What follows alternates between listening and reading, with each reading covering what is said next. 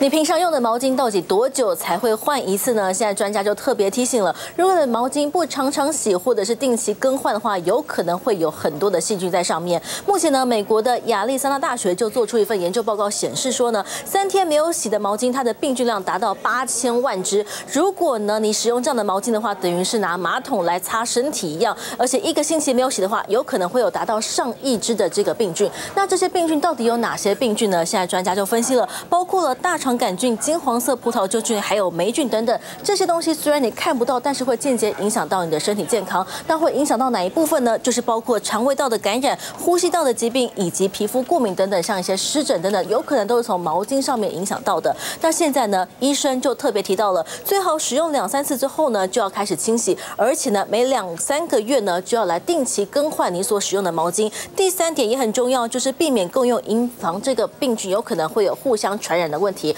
那其实现在毛巾呢上面很多一些病菌是你眼睛看不到，但是有可能会影响到你，因此在清洗的时候要特别注意。那清洗的方式有哪些呢？包括是放在热水里面，或是是肥皂水里面浸泡十分钟之后呢，开始搓洗，最后呢拿去晾干，而且要注意千万要放在一些比较通风的地方。如果太潮湿的话，有可能会变成一个病菌滋生的温床。想要掌握更多新闻资讯，欢迎可以拿起手机来扫描这个 QR code，就能加入 TVBS App，让你消息不漏接。想看最完整的新闻内容，记得下载 TVBS 新闻网 APP。